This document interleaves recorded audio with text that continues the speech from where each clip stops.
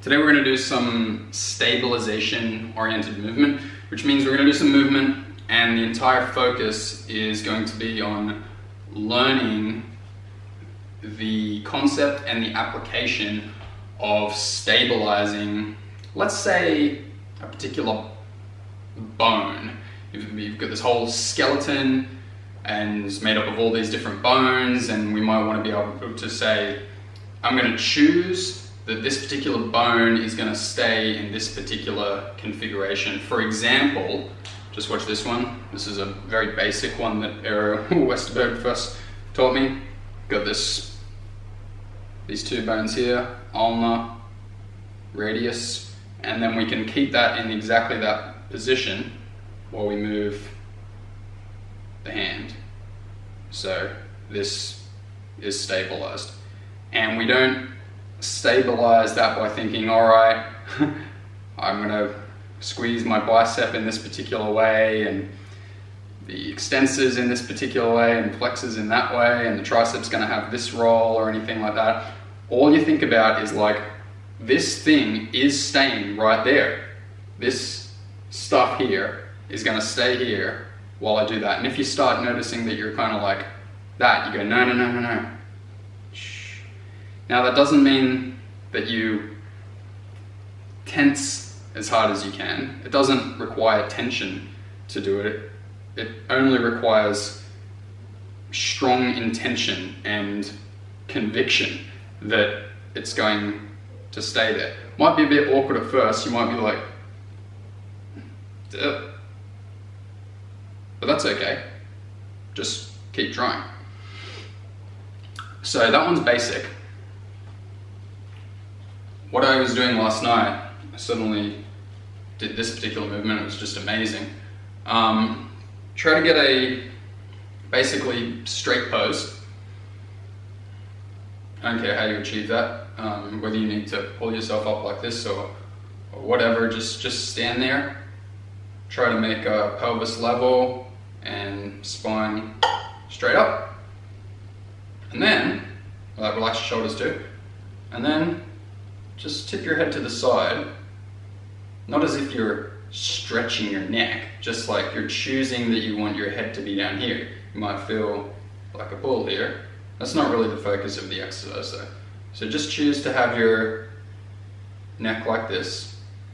Once you do that for the first time, you might need to check back in with your pelvis, with your feet, with your spine, and just check that you haven't kind of like thrown yourself out of alignment, right? So to achieve this part of the movement, we're actually stabilizing all of this, right? And if you're a little bit out, that's okay. And once you're like, yeah, okay, I'm stable, we're gonna keep that position while we move the arms, okay? So it doesn't matter how you move the arms, but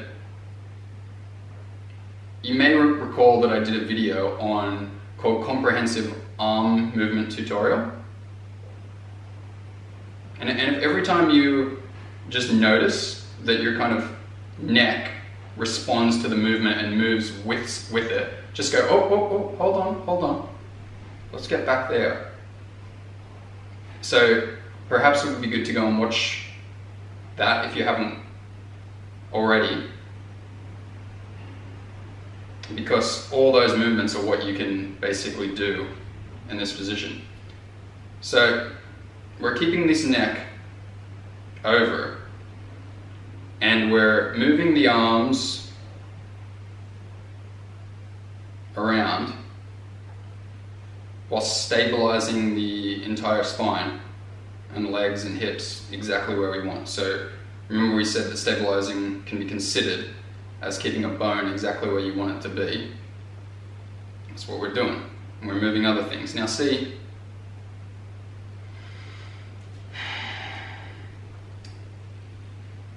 the shoulders, the scapula, and all this, all this bone here, all this stuff, right, is connected to your spine via your trapezius.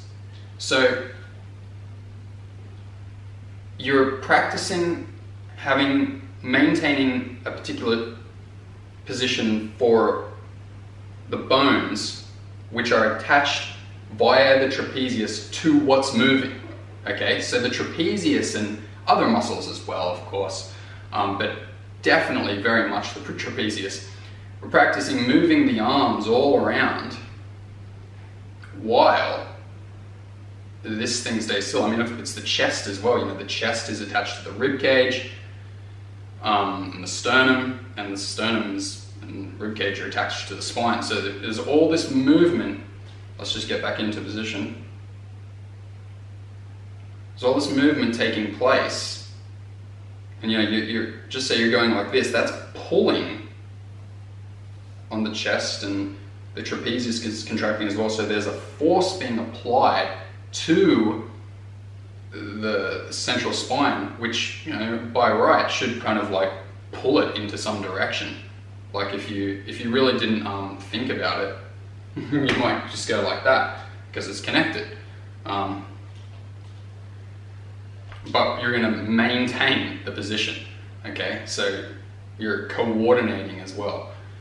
Let's just do a few more, and then we'll take this to the next level, right? We're going to go beyond stabilization. So you get this concept, right? You really have to play with this for about 10 minutes. Uh, I'm not going to go through it all. You got to move your arms around a lot while keeping your head in this sideways position.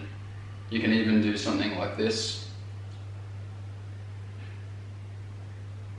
And then you can do it with the other side as well, right? And then we're to go to the next level, which is to look pretty funny, right?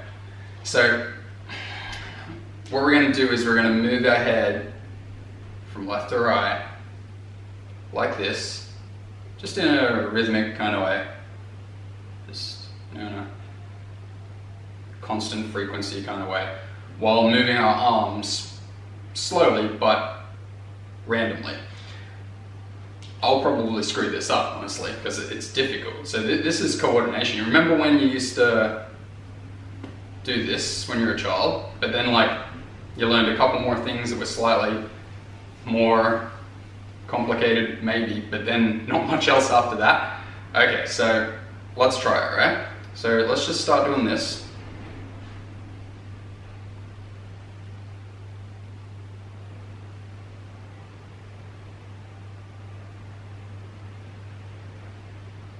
and it, screws with your head, right?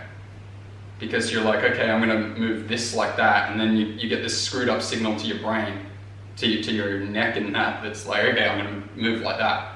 But if you do it in, in a mirror, you can really learn to kind of coordinate what's happening a lot better. And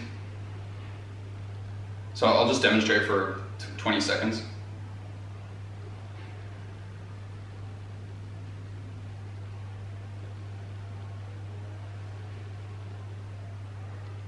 You can see how I can't do it perfectly. But I'll tell you what, I can do it better than I could two days ago. So, once you learn just once you have your first experience with that concept, first just holding a specific position and seeing how you're able to hold it while you do other stuff, and then do like a rhythmic move and do other stuff. You can probably even go more advanced and you know I'll move my head however I want while I move my arms however I want. Once you learn those concepts, then you can start to apply that to like a lot of the things you do. Like I was standing before in the mirror and I was like, okay, I'm gonna stand with uh, my legs a bit apart, knees bent a bit, and I'm gonna say my left leg is a bit forward than my right leg. I know you can't see it, but it's just like knees bent, feet this far apart, one's a bit forward, one's a bit back, about this much distance. And then I was like, okay, well, why don't I move my whole torso so that my pelvis remains completely level and my spine remains completely up And I was like, oh, well, I'll do this funny hand position as well. My, my, it's like a qigong kind of thing where your hand, arms are, palms are facing your face and there's space under your armpits. And I was like, okay, well, I, I can't really see what I'm doing right now. The, the viewfinder thing's too small. But like, okay, why don't I maintain this perfect alignment and move side to side and front and back. I'm probably not doing it perfectly, but you would you would get the idea. Okay, and all that stuff it it re- restructures the the tensional configuration of your body. It like teaches you better intramuscular coordination, which is something that Egwin Ertl always says is super important. And if you just start doing that all the time, and you know, you can even when you're walking, you can go, okay, let me just uh, stabilize this.